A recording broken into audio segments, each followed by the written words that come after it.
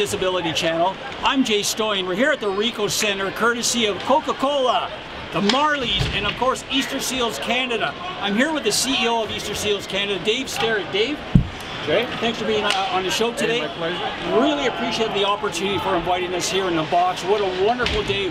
What a wonderful organization. Dave, why don't you tell us just an overview about the organization, then we can get into it. Okay.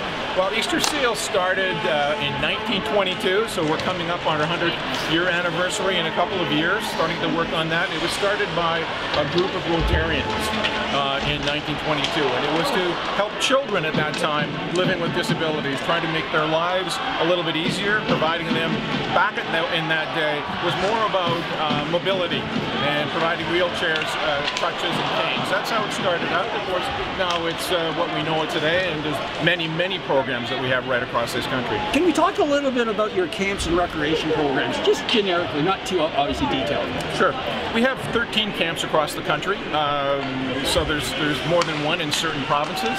Uh, the idea is to have children who live with disabilities um, and have issues with uh, accessibility, issues maybe with financial means to be able to attend camps. So we provide that financial means for them to attend camps 10 days out of every summer. Uh, we provide them with uh, mobility, with wheelchairs. We provide them with swimming pools so they can learn how to swim. We have camps with uh, climbing walls. We have drama programs. We have art programs. Weight rooms. So it's it's really all encompassing. And I guess people can find out more information obviously on the website. Absolutely. Easter Seals Canada website or any of our provincial websites as well. We'll be able to tell them all about the tips. Now, again, we're here with the CEO of Easter Seals Canada, Dave Starrett. Now, Dave, tell me your personal opinion on how things are improving in society over the last couple, couple of years regarding our communities.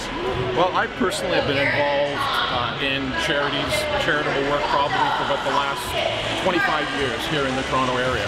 Uh, my family and myself uh, were uh, involved with making sure that uh, abused women, children of abused uh, women, uh, got the food, got the housing that they required. That was my first foray, I suppose, into the charitable world.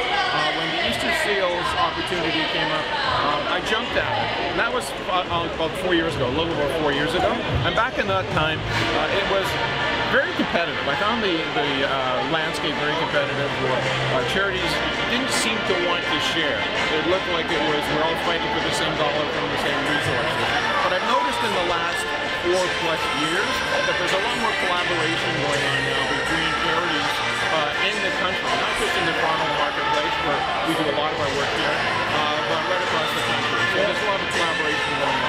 great to hear.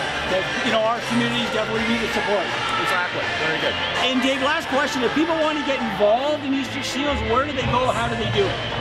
Uh, again, the best way to do that is to check out the website, Easter Seals Canada, uh, or any of our provincial members as well, Easter Seals by the provincial name. Um, and that'll talk about opportunities, whether it's volunteering, whether it's fundraising efforts, uh, all of those sorts of things will be on our website.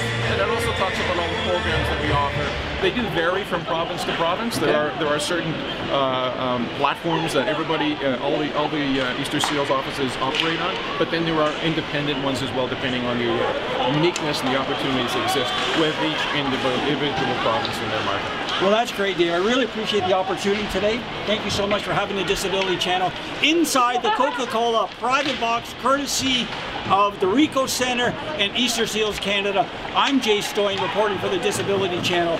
We'll catch you next time.